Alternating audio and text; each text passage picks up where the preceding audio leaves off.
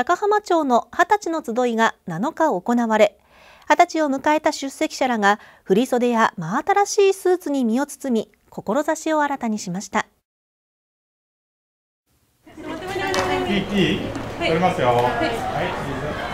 い、もう一枚。はい。取ります電車で。ちょっといいから飛んできます高浜町文化会館で開かれた二十歳の集いには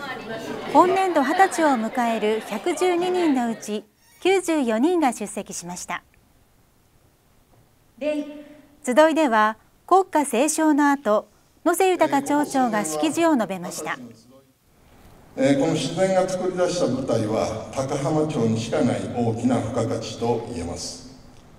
えー、この舞台を生かし魅力と可能性が感じられる町にリノベーションしていく主体はこれからここにおられる皆様の存在であります。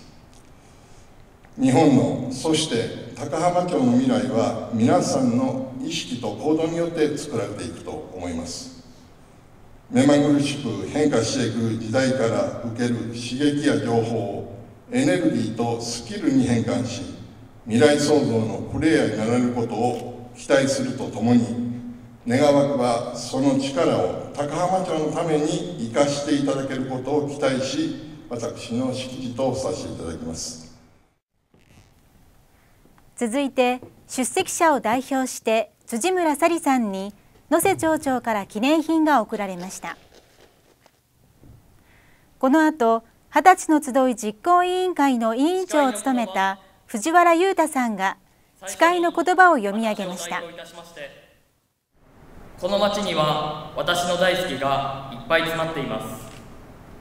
笑顔でお帰りと言ってくれる家族。卒業したのにずっと見守ってくださる先生方。かつては悩みを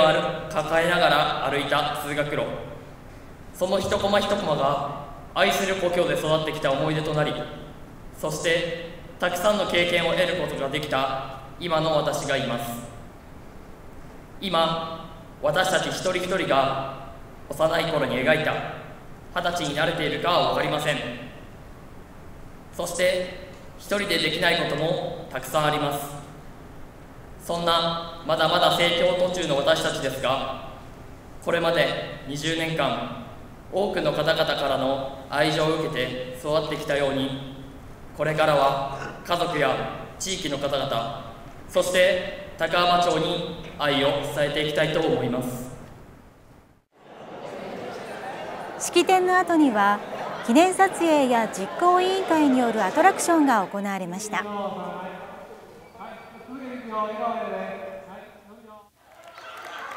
アトラクションではお世話になった恩師がステージに登場し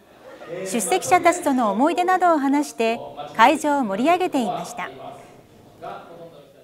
えこの学年に、えー、3年生の時に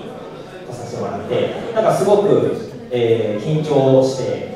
えー、初めて、えー、の学年でということで、えー、そのことを覚えてるんですが、なんかすごく温かく迎えてもらえるなというふうなことですごく楽しい1年間でした。質問じゃないんですけど、ちょっとさんに謝罪しなきゃいけないことがあって、中1の時、夏休みの宿題、課題で宿題、決まらない点数しか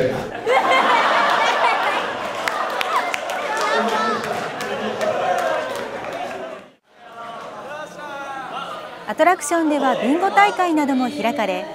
出席者らは久しぶりに再会した友人たちと